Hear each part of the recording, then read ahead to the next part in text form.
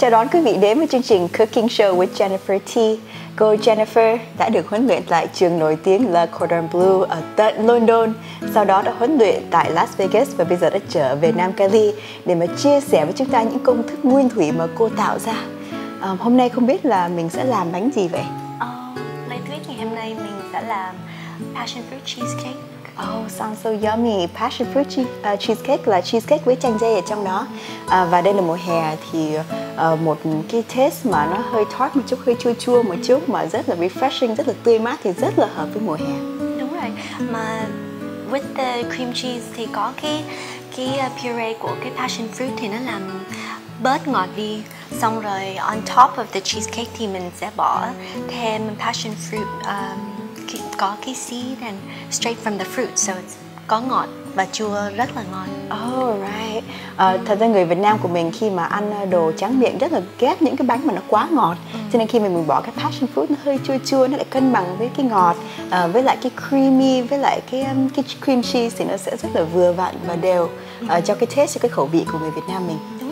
Mà à, Jenny làm cái recipe này đấy thì có sour cream nữa cho nên cái cheesecake nó không có dense giống như là mình đi ăn ở ngoài. Cái cheesecake nó sẽ rất là mềm và cũng um, very smooth. Wow, cái đó thật là sáng tạo và tôi chưa nghe đến là dùng cái kem chua sour cream ở trong cheesecake bao giờ hết. À, vậy đến đây chắc là chúng ta liệt kê tất cả những cái uh, recipe, cái ingredient mà quý khán giả à, quý khán giả cần khi mà làm cái bánh này. Ok. Thì trước tiên đó thì mình cần phải làm cái um, graham cracker. So nếu mà bận quá đó không có thời gian để làm thì có thể mua cái graham cracker đã làm sẵn rồi. Thì uh, tí nữa thì Lê Tuyết sẽ làm theo kiểu này. Còn Jenny thì sẽ dạy uh, Lê Tuyết và um, khán giả uh, làm uh, graham cracker theo from scratch từ From scratch. Yes, from the beginning. So um, nếu mà làm uh, from the beginning, then you have to mua cái graham cracker crumb. Nó là cũng kêu là pie crust.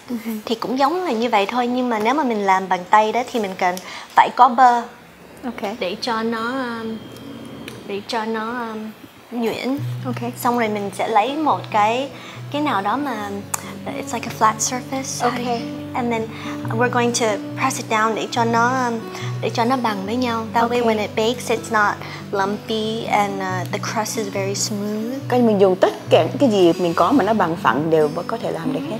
Yeah. And then sau đó đó thì mình sẽ làm cái cái cheesecake thì trong cái cheesecake recipe đó thì mình cần um, hai hộp Philadelphia cream cheese hoặc any brand will do nhưng mà cái hiệu này đó thì Jenny thấy uh, xài dễ mà cũng cũng uh, dễ kiếm ở trong tất cả supermarket. Sau đó thì mình cần khoảng uh, một cái teaspoon của vanilla extract and main ingredient is the sour cream. Okay. Cái này là coi như là tiếng Việt thì thì ờ, chắc người ta cũng kêu là Kem kem chua, chua. dạ. Yeah. Thì cái này nó sẽ giúp cho cái bánh không có ngọt lắm. Okay. So it's really important you get this one. Ok. And then bây giờ đó thì um, mùa hè thì cũng thấy có nhiều cái passion fruit. À, lúc mà Jenny đi chợ đó thì ở trong chợ Việt Nam lại thấy có cái passion fruit. Thì à, nếu mà thích cái mùi vị đó, đó thì mình có thể xài passion fruit juice. Um, hoặc là mình không có mua được thì mình có thể xay của mình. Nhưng mà phải bỏ thêm đường để cho nó không có chua quá. Vậy hả? Vậy là cái puree này là thường thường bỏ thêm đường mình phải nấu lên, nó phải nấu sôi lên hay là mình quậy thôi là được rồi? À, mình nấu sôi lên một lần thôi. Nó sôi một lần thì mình mình cứ à, Mình nếm. mình nếm thử. À, nếu mà chua quá đấy thì bỏ thêm đường. Thì lúc nào mà mình thấy nó không có chua quá mà cũng không có ngọt quá đó thì là vừa rồi. Tại vì mình làm bánh thì mình phải biết control, Phải biết know? tự nêm nếm đúng yeah, rồi. so cứ làm từ từ thử. Nếu mà ngọt quá đó, bỏ nhiều đường quá thì cứ bỏ thêm juice thôi để cho nó balance out. it's đúng not rồi. it's not scientific. You know, it's not hard to do. So, Right. um, and then a little bit of this goes a long way. I think we're only going to be using khoảng uh, 60 gram Ok. juice and then um, bốn cái trứng. Thật sự thì hai cái uh, trứng với uh, hai trứng non Ok. total and then um, and then cuối cùng thì mình sẽ xài heavy whipping cream Ok, là kem tươi.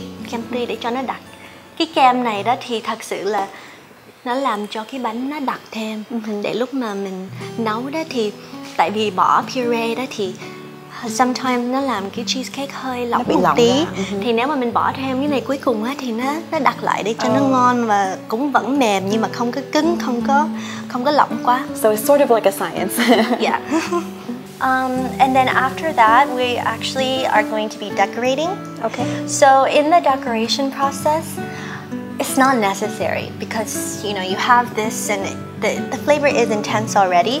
But nếu mà muốn làm cho cái bánh nó đẹp hơn đó, nếu mình muốn tặng người ta hoặc là mình muốn làm cho nó đẹp giống như là mình mua ở ngoài đó thì uh, thì Jenny thích làm cái gelatin um, bỏ thêm một tí cái uh, uh, passion fruit puree. Okay. thì mình mình làm giống như là cái glaze vậy Ok, coi như nó láng bóng ở trên cái bánh. Hình như mình đi mua fruit cake ở ngoài tiệm thì họ hay làm như vậy ở trên. Phải không? cái này đó thì rất là dễ.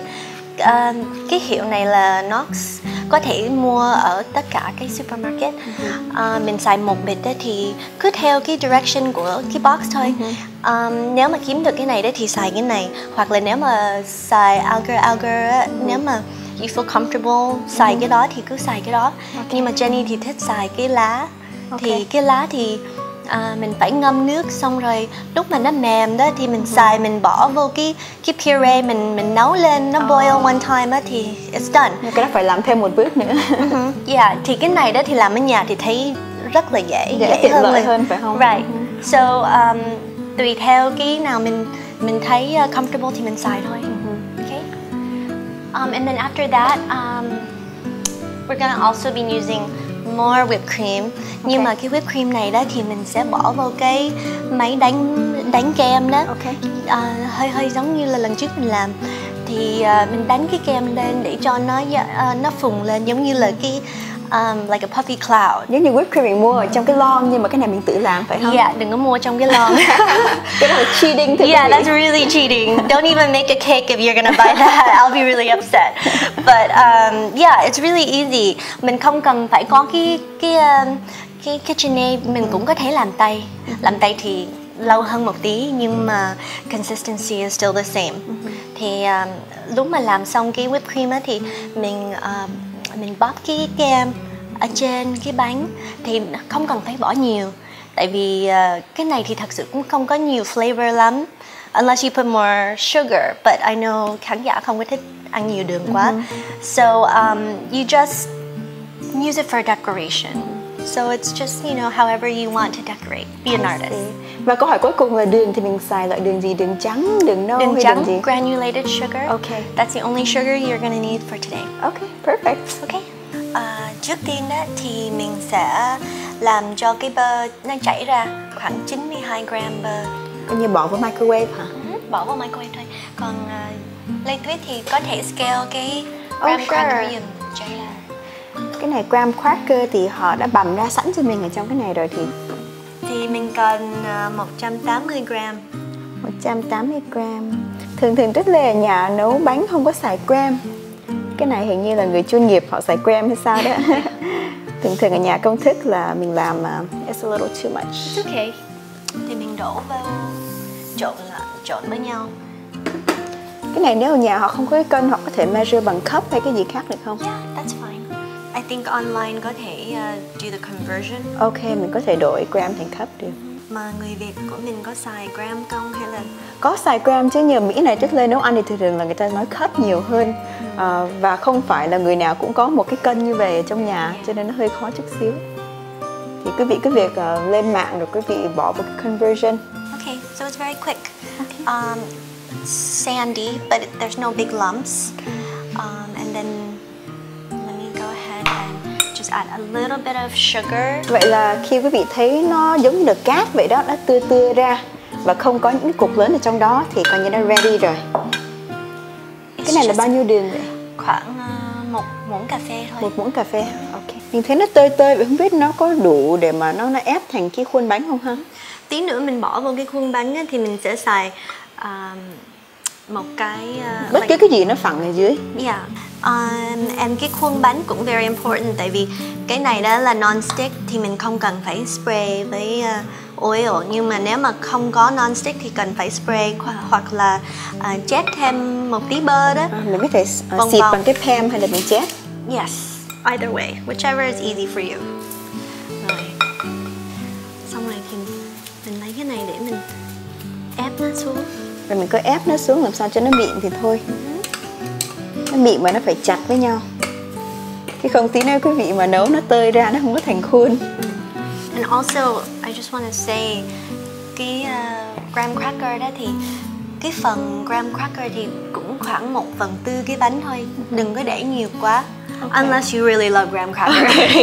If you don't then you know portion size is very important when you're baking. Okay. you don't want too much cream cheese or too much graham cracker because then the flavor won't balance. Oh I see. Okay. So that's ready. Một lần nữa nếu quý vị muốn thì có thể mua một cái vỏ bánh này ở chợ người ta làm sẵn rồi thì có thể skip có thể không làm những cái phần trước mà à, Jennifer đã chỉ cho quý vị. À, bây giờ mình làm cái vỏ bánh xong rồi kế tiếp là cái ruột của bánh thì không biết là mình bắt đầu ở đâu. Ok, bây giờ đó thì mình trước tiên thì phải bỏ cái uh, cream cheese vào trong cái KitchenAid. Ok. Cần khoảng uh, hai cái uh, box. ok hai box là hai hộp cream cheese nếu quý vị mua loại Philadelphia thì nó cũng đúng sẵn là hai cái cục như vậy rồi thì mua hai hộp rồi bỏ vô thôi Và uh, Jennifer cần phải nhắc đó là lúc mà bỏ cái Philly cream cheese vào đó thì để cho like uh, leave it at room temperature để Ok. cho nó not too cold. You know. nghĩa là quý vị lấy ra khỏi tủ lạnh rồi để cho nó đến nhiệt độ phòng thì mới bỏ vô xay được hay là Ok. à, À, đánh được Sau đó thì mình cần chung với cái uh, Philly cream cheese thì mình bỏ khoảng um, khoảng uh, 170 gram sugar. 170 gram sugar ok Xong rồi mình bật lên để cho nó làm thành cái kem ngọt. ok bật lên đến cái độ xay nào cái độ mạnh nào Um, thì cũng vừa vừa thôi starting off with just uh, nếu mà xài KitchenAid thì bỏ lên level 2 để Level cho two, nó ok. để làm cho nó mềm. ok rồi cái này mình nhìn là sao mình biết được chừng nào nó xong Bây giờ đó thì à, mới bỏ cái à, đường vào đấy thì nó vẫn còn thấy lấm tí. ok Thì lúc mà nó xay đủ rồi đó thì mình sẽ thấy nó rất là mềm, rất là à, mịn, không có không có à, nó nhuyễn nó không có mấy cái cục cục ở trong đó không còn cục nữa. Bây giờ rất là thích cái mùi của cream cheese Smells so good Mà cái này nếu mà mình kẹt mình không có cái máy đánh trứng KitchenAid thì mình xài cái khác được không? Được, Jenny có cái à, cái hand mixer, cái attachment này đó thì mình có thể đổi mình xài cái này thì nếu mà làm một cái bánh á, thì không có sao. Nhưng mà làm bằng tay đó thì cũng vẫn hơi lâu hơn là xài cái equipment này. Ok Nhưng mà cái này nó rẻ hơn chút xíu Thì nếu quý vị không mua cái KitchenAid thì có thể mua cái máy đánh trứng cầm tay thì làm cũng được Nhưng mà hơi khổ một chút. Hơi khổ. mình đổi nó xuống cái à, level 1 Level 1 là stir stirring. À, xong rồi bỏ khoảng à, một teaspoon vanilla extract để cho nó thơm. Ok Một muỗng cà phê Vanilla Cái vanilla extract cái ly xài nó không có đặc như vậy Nó là cái loại liquid extract đó Có được không? yes không có sao hết Bây giờ bỏ cái vani vô nó càng thơm nữa thưa quý vị Rồi, sau đây thì mình cần phải bỏ hai cái trái trứng. Hai trái trứng Cái này là trồng à, trồng trắng trồng đỏ đều bỏ vô hết nè Và mình cũng cần hai thêm hai cái uh, Cái hai trứng cái lòng đỏ. đỏ. Thì mình bỏ hết vô một lượt. Vậy là hai trái trứng rồi hai cái lòng đỏ Sau đó cứ để cho nó hỗn hợp vào với nhau Lúc mà mình mới bỏ mấy cái trứng vào đó thì nó rất là vàng. Mà nếu mà mình tiếp tục mình trộn đó thì cái màu nó sẽ lợt đi. Thì lúc Ok. mình thấy nó lợt đi rồi đó là mình biết là cái bánh này nó đã trộn đều rồi. Ok Nó vừa lợt đi, nó vừa mịn nữa Mọi thứ nó hỗn hợp chung với nhau được I'm just turning it down to uh, clean the edges, make sure it's mixed evenly. Ok lâu lâu quý vị thấy là cái này nó leo lên cái thành của cái tô đó thì quý vị có thể à, lấy một cái phới à, quý vị quẹt nó xuống cho nó đều và như chúng ta còn một cái secret ingredient nữa phải không Sour cream. sour cream còn chưa bỏ vô nữa So I'm just gonna put the whole thing in there. ok còn cả cái hộp này là 8 ounce phải không 8 ounce. 8 ounce And then cần à, khoảng 57 gram heavy whipped cream.